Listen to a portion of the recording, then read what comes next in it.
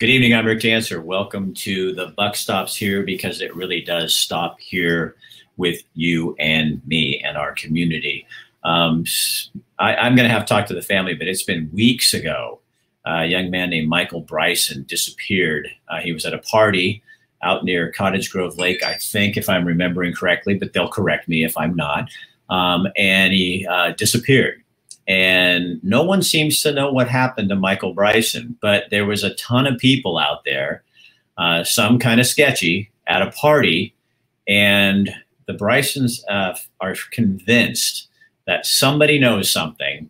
Um, police have investigated. They've hired a private investigator to come on. Tonight we have the private investigator. We have Tina. We have Parrish. That's mom and dad. And then we have Donovan, a young man who's brave enough to come forward. He was at the party, and we're going to talk about this. And the whole purpose of this, you guys, right away, as soon as you see this on your page, share it on your page so other people can see it right now, because somebody out there knows what happened to Michael.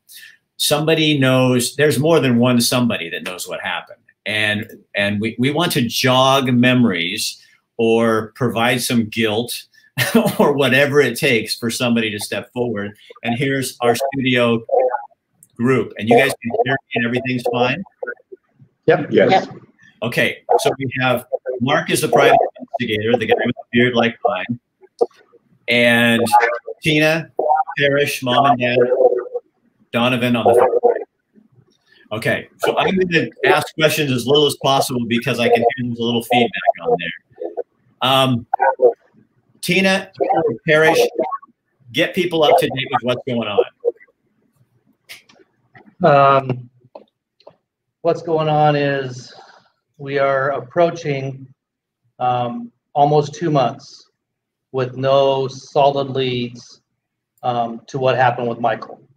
Um, we have we've spent 19 days up at the camp um, that we made a base camp with, and searched every day. Um, came home on the 20th day and started doing our searching from home, whether it be um, cyber searching, if you will, on the computer, talking to people, chasing down leads, um, going back up and searching as time allowed.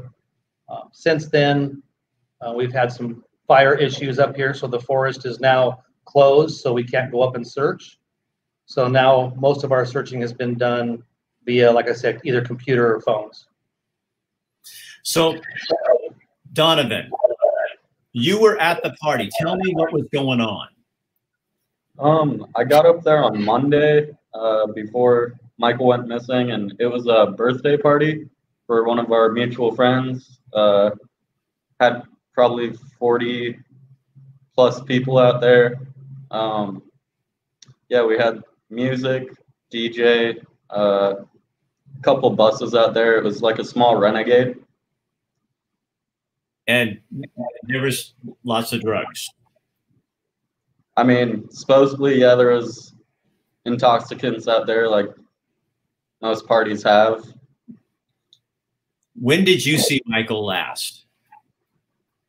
Um, actually, the morning he went missing, I saw him last. Uh, just drinking a beer with him by the fire. Uh, probably I think I passed out around, let's see, like two or three. Last time I saw him was probably around midnight or so. So, what kind of people were at this party? I mean, you said it wasn't just your friends, there were other people that showed up. Uh, yeah, it was more of a collective of friend groups from around the area, mutual friends. Uh, some from Portland, some from Southern Oregon, some from here in Eugene. So, how would you describe them? You were telling me earlier some kind of sketchy people there.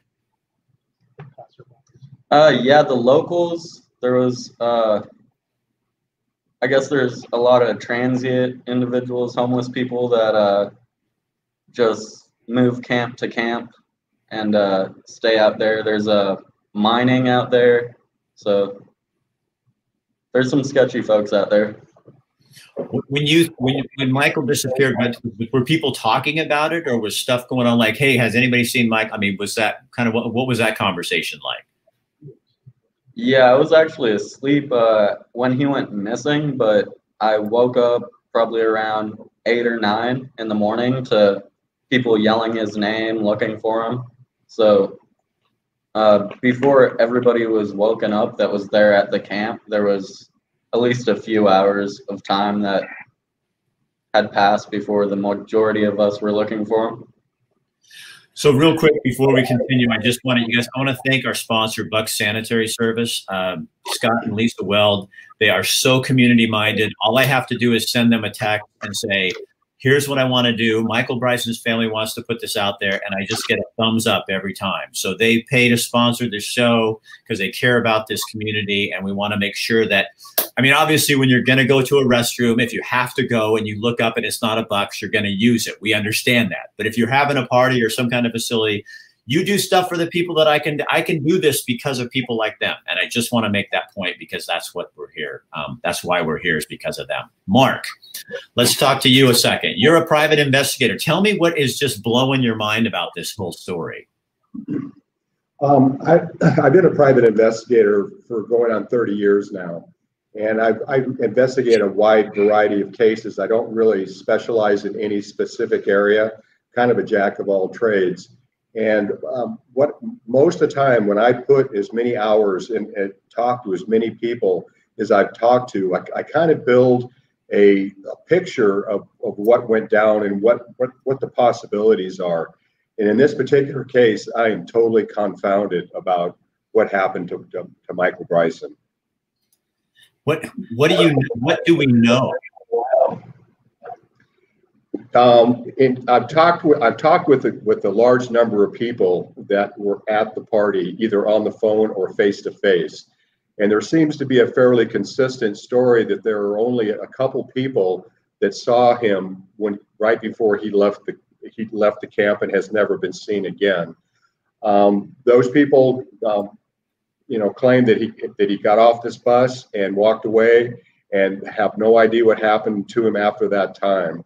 Um, I've talked with another individual who is actually a um, he's a homeless person that lives on the mountain most of the time, but he also lives down down the road a bit too in a in a in a house. And he claims that he saw somebody walking up the road about 4:30 in the morning um, when he was out collecting aluminum cans 4:30 in the morning um, up in the up in the mountains. But in, in any event, um, so literally those are the last people to have seen Michael and there there has not been a clue since not a shoe not a hat. No one no one has come forward and say hey i saw him you know walking down the road. I saw him get in a car. Nothing at all. So you guys, i mean anybody can answer this but do, do you think that that people know somebody knows right?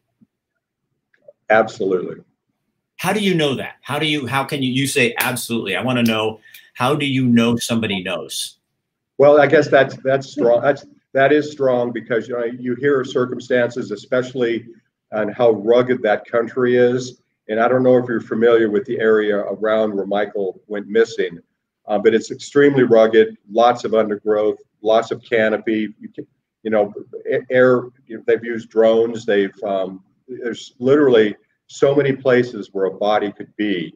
And you know, he could have obviously, you know, 4:30 in the morning wandered up the hill, but it's extremely steep and extremely rugged, and it just seems extremely unlikely that he, you know, that he that he he went four-wheel driving himself, you know, up a hill in Crocs, in Crocs where it seems way more likely that he either what followed the road up or followed the road down, the path of least resistance and there were lots of people up there at the time at different campgrounds.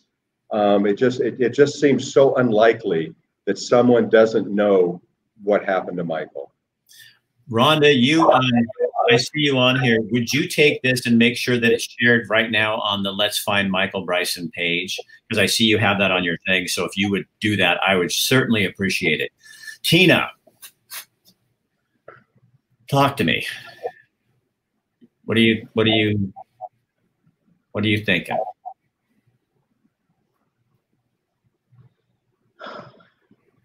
I'm devastated. Um,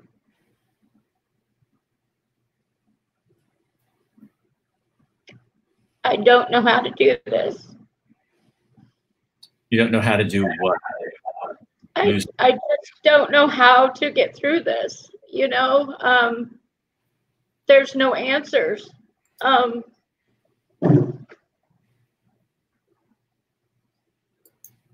it's so frustrating. I feel like Michael's case has not gotten the media coverage that it should have. Um, we're finding out that if you're a child missing or if you're an elderly person missing, um, then they get a lot of coverage. But if you're just an adult missing,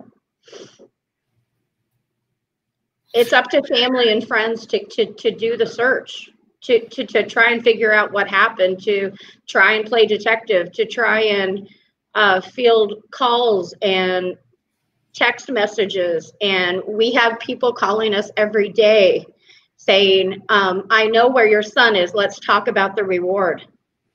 What? We have psychics calling us, telling us, your son is dismembered. Start looking in the landfills. Oh, Our phone numbers are out there and they're everywhere. And so trying to deal with all of that and trying to grieve your son and not knowing what happened to him.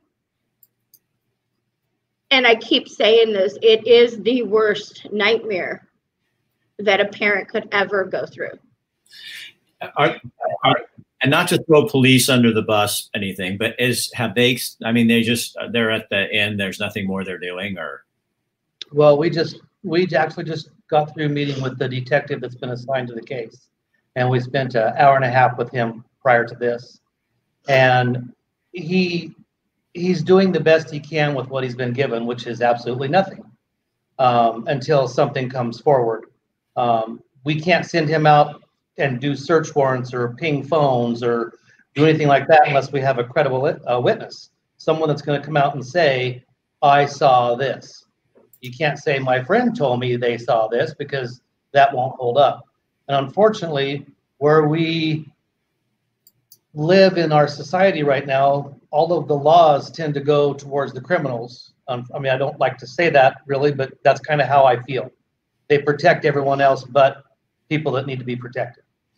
And the detectives, like I said, the detective's hands are kind of tied right now. He's got a whiteboard. He told us today that he's got a whiteboard and he's got more magnets and more notes on his Michael Bryson case than he does on the other 20 cases he's working.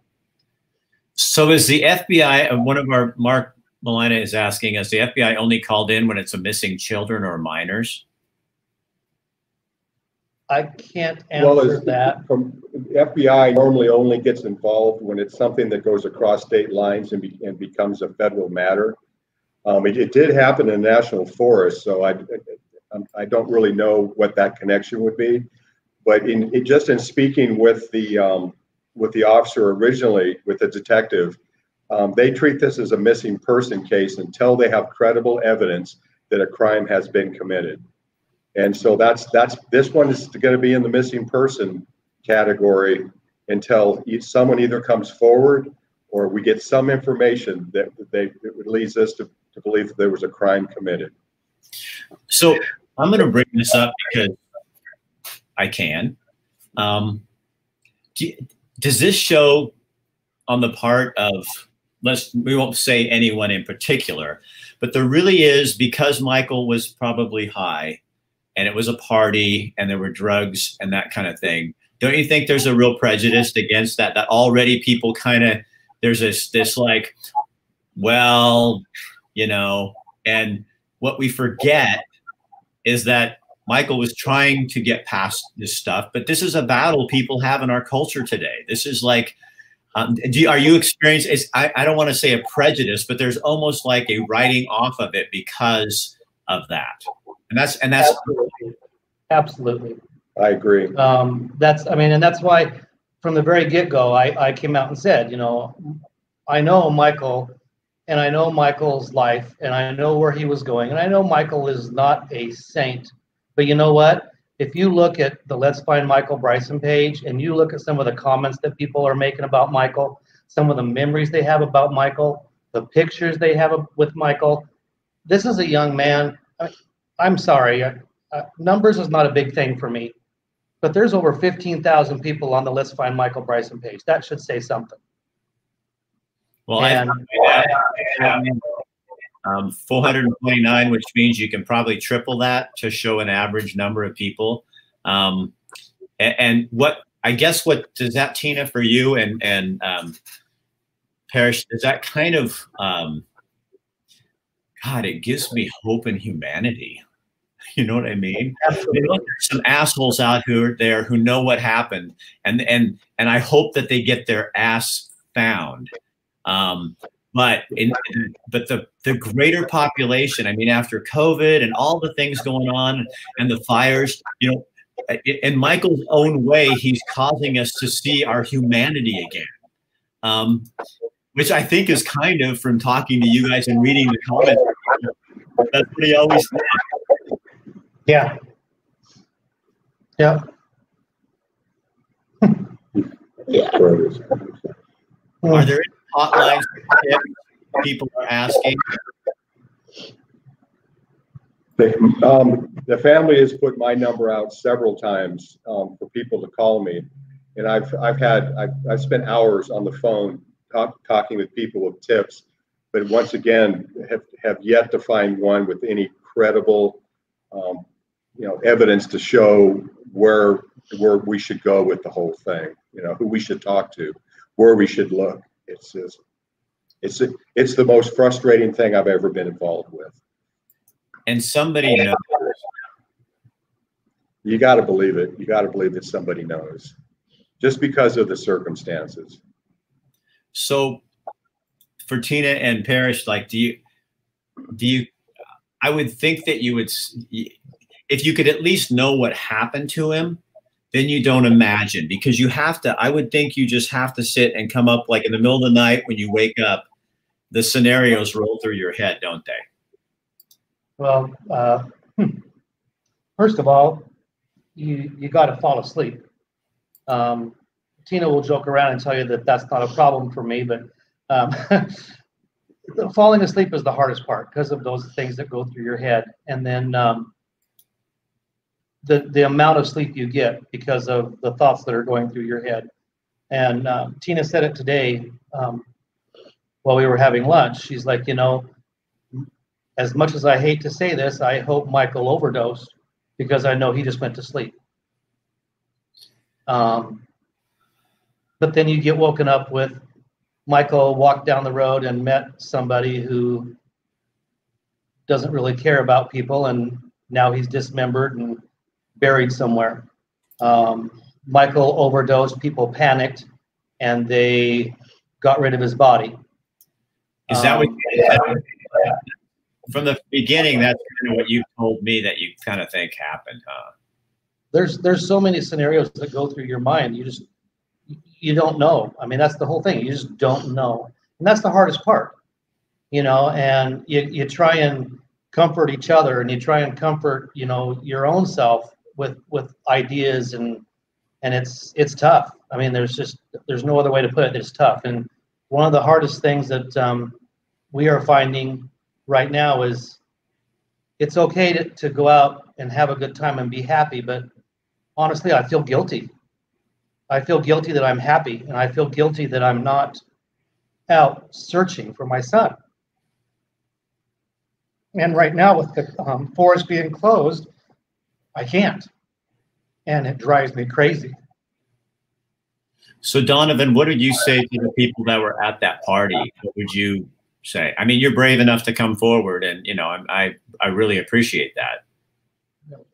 Yeah, um, I would have to say that if there is any information that hasn't been put forth that would contribute into finding Michael, now is a better time than any sooner than later. Really, like closure is what everybody is looking for, and the only way to do that is to have answers through information. So I just urge anyone that knows anything to speak out. Do so, Tina. Um, like, you know, a week after this was going on, I'm sure the worst thought was that Michael was dead. Now, what's the worst thought?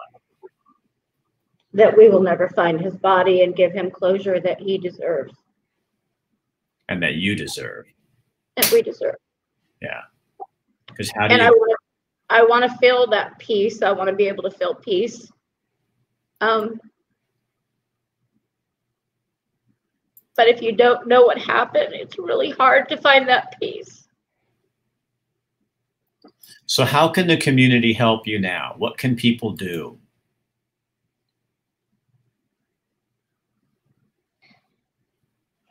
Keep Michael's uh, face and name and situation on topic.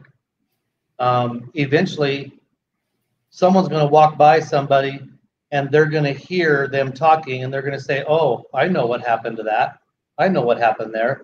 And they'll have enough um, strength to stand up and, and say what they know. Um, we're, we're not going to let this story die.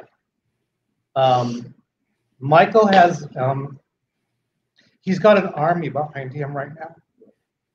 And when mom and dad get tired, we've got over 15,000 people plus that's picking us up and pushing us forward. Um, that's what's given us the strength to go. So just keeping his name out there, keeping his story out there. Um, eventually, someone is either going to slip or they're going to get arrested. And I've got a plea bill, no deal for you. I don't know, um, but that's that's what we're hoping for. Do you, um. So, like when you're sitting, because I, I want people to also know what they don't probably. I mean, your friends do, but what the general public doesn't know is that you guys, um, you're you're where you're you have great heartache. Your spirits. I mean, you guys are you're you're kind of funny people. you know I mean? And you guys, they we call up and we have a really good time chatting because I think, and I, I wonder, was Michael like that? What do you miss the most about him not being around? Was he like you guys, kind of crazy, corny? Yes. Yeah, I could attest to that. I can see where I Always had a smile on his face. Yep. Every time I saw him. That video that was produced that you guys put on my page, I had so many people come on and say, "Oh my God, I'm just crying." It was so sweet. It was like, "What if you, Tina? What have you learned about a mom's love, especially for a boy?"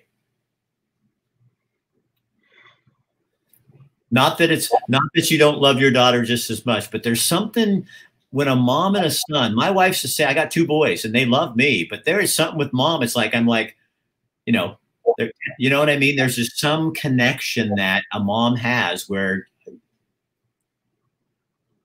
what is that? It's a strong connection and it's hard to explain. Um, Michael and I have always been so close and we don't even have to talk. We can look at each other and we get each other. We, I miss everything about him. I bet. I miss his smile. I miss his Wow. his laugh. He would call me up every day just to say, "Hey, Mama, how are you?" You know, Yeah. I just I miss everything about him. Parrish, you said one of the things in this um, when we've because we've I don't know how many times you we've done this, but a number of times. And one of the times on here, um, um, you said something. Courtney, I already went there. Somebody says, "Don't go there, Rick. The bond is unimaginable." but it, it may be unimaginable, but it needs to be said because that's an important part of the whole thing. But Parrish, Yeah. you said something that you knew Michael has struggled with drugs for so many years and tried his hardest to get off of them. And I, I have lots of friends who are in that same place. And it's just not, if you've never been there, no, do not judge because it's not an easy thing. And you had said, I hope he found peace. And I think that's the most profound thing that someone can love their kid so much that you think, you know what, I need to know what happened to you, but I, I hope you found your peace. Um, that I don't, I think that's uh, I think that's how God loves us. Is just He wants us to find who we are, and maybe Exactly. Exactly. You know, and that's and that was I mean that was Michael in a nutshell. I mean like like these guys said, I mean he was he would joke and he'd laugh and he was always poking fun at people. I mean, we just saw a comment um, the other day on on uh, on the Facebook page, you know, he's, they were on the porch talking and Michael had them laugh until five in the morning and they were like, you know, oh my God, it's five in the morning, you know, we got to go to bed, you know, and, but the whole time it was just, he was just poking fun at people. And that's just, I mean, we all do. I mean, that's just part of our family makeup, you know, and, and, uh, he took it to a whole new level. He really did. He made people feel love no matter who you were. Um, and I, uh, I made a comment on his page a couple days ago and about um, the leper. And I tell you what, that was Michael. He wasn't afraid. He didn't care who you were. He didn't care where you were. He got right down on your level and he loved you. He made you feel loved. And the world needs more Michaels. Yeah. Well, I have a feeling that he didn't fall far, far from the tree with the two of you. Um, because I think you're the same way. You're amazing people. You really are. And I don't know if you see that because I know you're in a lot of pain, but in this time when things are so tragic for so many people, there's a light that shines in you um, and we all feel it.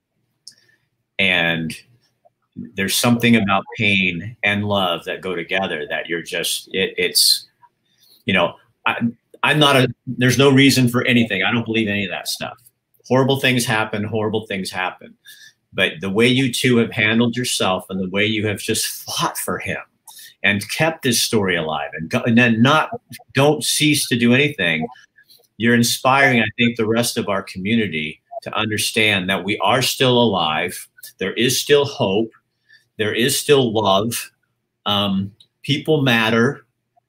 And um, I don't know. I'm so grateful for not the situation. I don't want anybody to take it like that. That's just, that's shit. I'm not saying that. I'm saying I'm just grateful for the way you two have handled it and allowed us to be a part of this whole thing. Somebody on here saying, Rick, does the family and followers have a form of protest in the streets of Eugene Springfield to get the local media to cover the story? What's the deal? Um, Love you, Cindy. Love you, Cindy.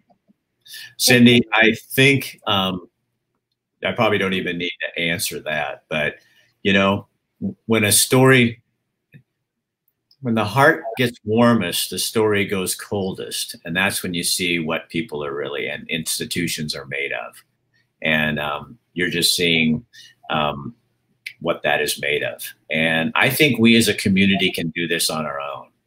Um, we keep the message out there. We keep doing this. Um, yeah, sure, it would be nice to have others covering the story, but um, we got probably more people on here right now than they're going to all have on their five o'clock edition of the news. and I and I can say that because I was there. Um, there so many comments on there uh, that you guys just have to go read this. And you guys, so um, why don't you give us just like a last what what what you want? If anybody can speak, it's kind of you know um, whatever you want to get out there. I want you to be able to do that. As far as an investigator and my information is out there, you can stay anonymous. Just give me some direction. Just give me any direction that's legitimate and I will follow it like a dog on a bone.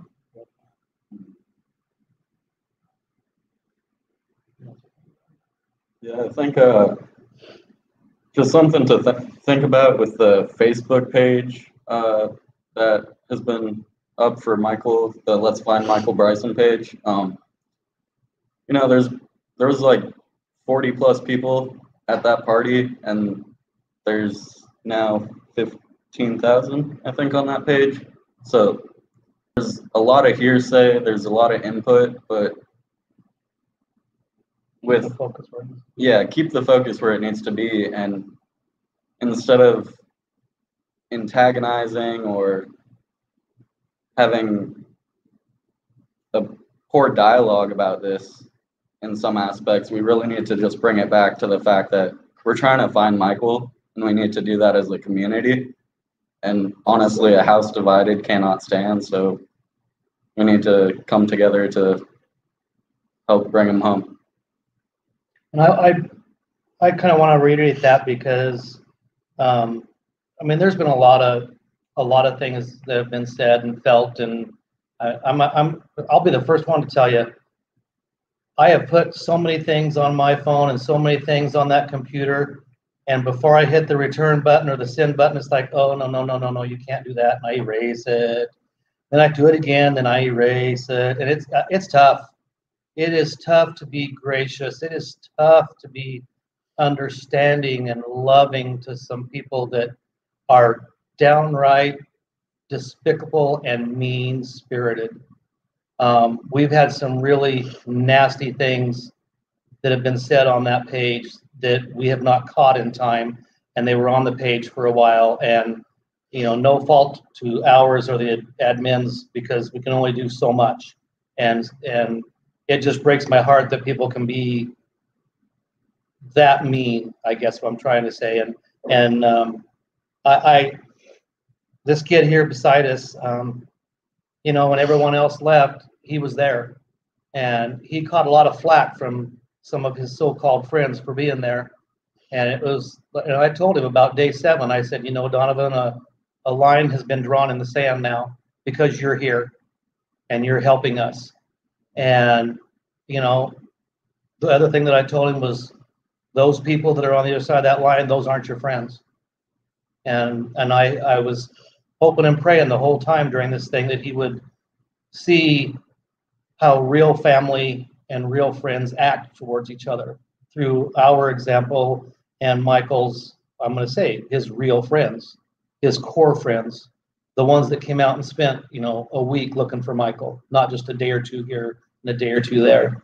Um, and and Donovan's got a lot of flack from it, you know, and, and I I just want him to know and you guys to know that that Tina and I appreciate everything that he has been standing for. Well, it's been tough. Um, it's uh, yeah. I mean, it's it's it's been tough. I see my I see my kid here, you know, and and uh, I don't want this kid to go down the same road. You know, um, he's he's doing good. He's doing better you know, and I appreciate that. And I'm hoping that that's part of Michael's legacy is getting another young man to head down the, the right path for him. Are you and, talking? Uh, about, are you talking about Donovan? Yes, I am.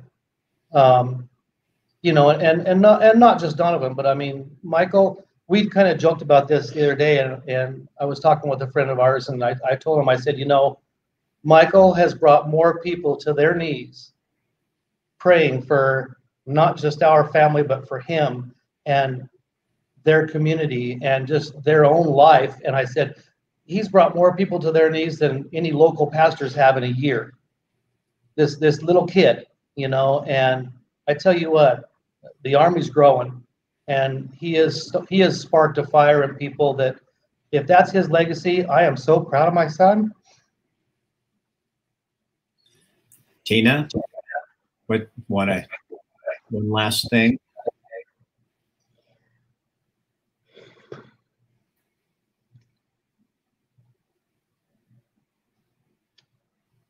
First of all, I, I just want to thank everybody that has followed the page and given us support and who have picked us up when we felt like we couldn't go on anymore.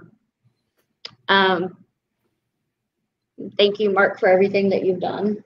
Thank you, Donovan, for being here. Um, thank you, Rick, for doing the show. If anybody knows anything, please call. Anything that seems like, you know, I did hear, I, I did hear an altercation. Uh, and I, and I believe it was that night. I believe it was that weekend. Those may be things that we it, it may help us to find our son. So anything that is little Could be huge. could be huge. So just keep that in mind and keep praying for us. Um, keep praying that we find Michael and that we give Michael the closure that we need. So you are very welcome uh, to do this. It's our, this is what we do as a community, right? And I'm going to throw Bucks out there again. We Buck Sanitary Service. Thank you, Scott and Lisa, because you do care about people, and this is something we need to care about. I feel like I don't want to leave until, hey, Donovan, dude, you, you're a very brave young man. Thank you. I appreciate that. It's And- just the right thing to do. Well, I hope I hope you do better with what's going on, whatever it is in your life. Okay. Don't let that hold you back. Um, what you just did here today should show you what you're really made of. I mean, you got balls, dude. You know, I mean, you do. You, and don't you forget that. Look at when it came down to sticking up for your friend. You stood up and you did this. You could, do- Donovan, you could do anything you need to do. I have total faith in you. And he's got an army behind him. Right. I'm glad you came. I'm, it's nice to meet you. Really nice to meet you. Yeah, I'm I'm honored. People that struggle, those are my kind of people because we all do. And you and I, I, I graduated from high school with a 1.67 grade point average because I, I focused on I, I I focused on socialization and partying and drugs, and I minored in education. Um, we all can get past that stuff, and I'm so honored. And it's, it's fun that Michael uh, you know, it'd be great if he could ever see what he did, but maybe that's at another time, at another place. Tina and um, you guys are awesome, and we are. There's a ton of people on here for you, even somebody from Hawaii. You're global. You guys are global. Mark, thank you for doing what you do, and um, we're going to keep the story alive. Um, and for sure, we're always going to keep Mike's memory alive. That can't go away. That won't happen. All right. So, community, I'm going to give them a little more guilt trip, and you guys just can sit back, and I'm going to take you off the screen. Okay, All right. Thank All you, Rick. Thank you. guys. All right. That's what it is. So, we have a job to do as a community. So, we have a family who needs help. We have a lot of people that are suffering right now. Here's somebody that we know the situation. Somebody out there knows what happened, and you need to come forward and not be an ass. And if somebody out there knows, and you know that they're that what they did to, to Michael and what happened to him, and you know it, you are just as guilty. So come clean and and stand up. And for maybe the first time in your life, be real. I mean, come on. This family is suffering. They're, they need to know where their kid is. They need to know what happened. If you screwed up and you did something wrong, okay, you pay the consequence. But you've got to tell these people what happened to their kid.